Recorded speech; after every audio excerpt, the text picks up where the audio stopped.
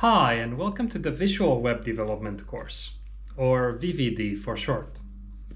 In this course, we practice coding using vanilla JavaScript and visualize things on the HTML canvas.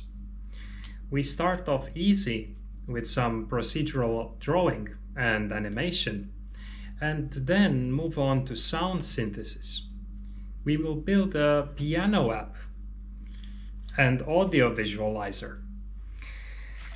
Then we start using the camera and study some basic image processing techniques. We use these to make our piano in augmented reality. First, in this simpler way, where we just detect the pixels that change and trigger the right keys, but then we also make this more sophisticated version, which uses these gloves.